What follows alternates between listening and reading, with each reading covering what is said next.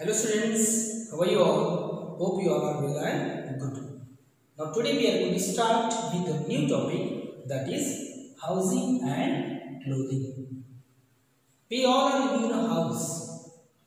Our house protects us from heat, storm, rain and cold. Also our house protects us from wild animals and thieves we can see different kinds of houses around us. We build different kinds of houses according to our needs.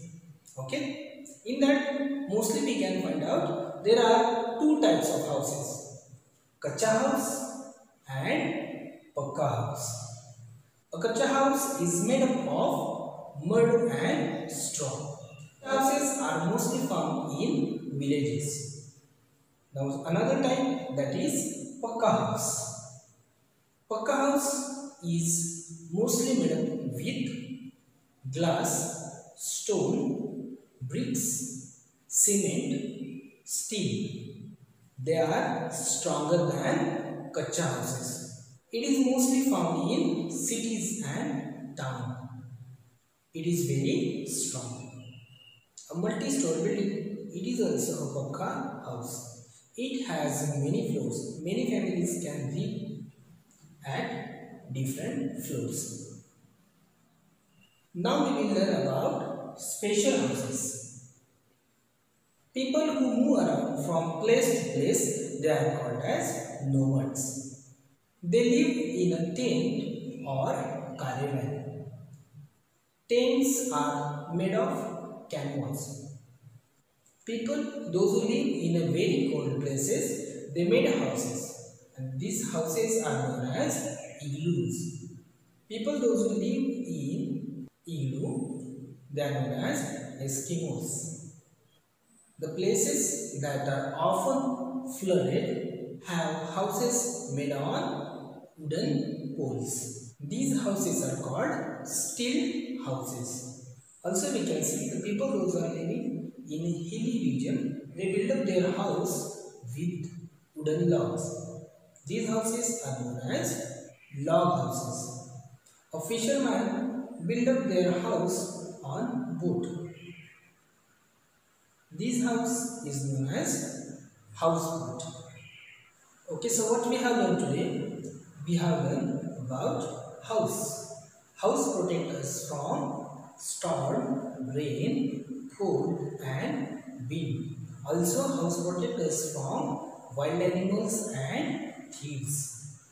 We can find out there are two types of houses. Kacha house and Pakka house. Kacha house is made up of mud and straw. It is not strong like Pakka house. It is mostly found in villages. Another type that is Pakka house. Pakka house is made up with cement, stone, glass, wood and steel. It is very strong and it is mostly found in towns and cities. Also we have seen some special types of houses like a tent, igloo, stilt house. Okay. Now see on page number 18, multiple choice questions are given there. So that exercise you have to solve on your own. Okay. Now I'll give you new words. That new words you have to copy in your notebook. So number one, kacha. Number two, pakka. Number three, multi-store. Number four, tent. Number five, nomads. Number six, caravan. Number seven, stilt house. Okay, so these are words you have to research. The lesson.